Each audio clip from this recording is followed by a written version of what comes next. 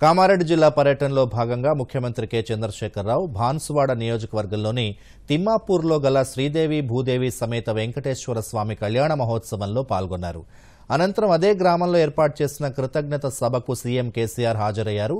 ఈ సందర్భంగా సీఎం మాట్లాడుతూ గతంలో తాను తిమ్మాపూర్కు వచ్చినప్పుడు వెంకటేశ్వర స్వామి గుడి ఒక మాదిరిగా ఉండేదని ఇప్పుడు గుడి చుట్టూ పొలాలు చెరువుతో ఆహ్లాదకరంగా మారిందని సీఎం అన్నారు.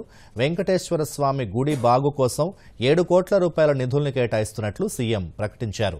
ఒక భాన్సువాడ ఏరియాలోనే రైతులు పదిహేను వందల కోట్ల రూపాయల విలువైన పంటలు పండిస్తున్నారని భాన్సువాడ నియోజకవర్గం ఇంకా అభివృద్ధి చెందడం కోసం సీఎం స్పెషల్ డెవలప్మెంట్ ఫండ్ కింద యాభై కోట్ల రూపాయల నిధులు కేటాయిస్తున్నట్లు కేసీఆర్ చెప్పారు. ఈ టెంపుల్ డెవలప్ చేయాలని చెప్పి అందుకోసం మీరు నన్ను తీసుకొచ్చిన నాకు అర్థమైంది సీనన్న చేద్దాం తప్పకుండా అని ఆలోచన చేసి కొంత ప్రయత్నం చేసినాం.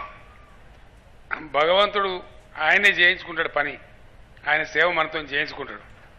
మ్యాన్ ప్రపోజెస్ గాడ్ డిస్పోజెస్ అని భగవంతునికే దయ శ్రీనివాస్ రెడ్డి గారి మీద వచ్చింది బాన్స్వాడ మీద వచ్చింది కాబట్టి నన్ను కూడా పిలిపించుకొని ఆయన నన్ను కలిపి ఆయనంతా ఆయనే చేయించుకున్నాడు మనదేం లేదు. ఆ స్వామి యొక్క కరుణ దయ ఎల్లప్పుడూ బాన్స్వాడనే కాదు మన తెలంగాణ ప్రజల మీద మన నిజామాబాద్ జిల్లా ప్రజల మీద. అందరి మీద కూడా ఉండాలని పంటలతోని కలకల్లాడుతూ సుభిక్షంగా ఈ ప్రాంతం అంతా బాగా ఉండాలని ఈ శుభ సందర్భంలో స్వామివారిని నేను హృదయపూర్వకంగా కోరుకుంటా ఉన్నాను గుడి అంటే ఒక కమ్యూనిటీ హాల్ లాగా ఒక కమ్యూనిటీ కేంద్రంలాగా ప్రజలకు ఉపయోగపడేటువంటి ఒక ఆధ్యాత్మిక కేంద్రంగా ఉంటుంది కాబట్టి ఎంత చేసినా మనం తక్కువ తక్కువ లేదు. కాబట్టి మరొక ఏడు కోట్లు కూడా తీసుకొని ఇంకా మిగిలిన పనులు కూడా కంప్లీట్ చేస్తే సమగ్రమైనటువంటి అవసరాలతో కూడుకున్నటువంటి పుణ్యక్షేత్రం అవుతుంది కాబట్టి ఆ ప్రకారం చేయాలని పెద్దలు శ్రీనివాసరెడ్డి గారిని నేను కోరుతా ఉన్నా. ఈ రోజు వరకు కూడా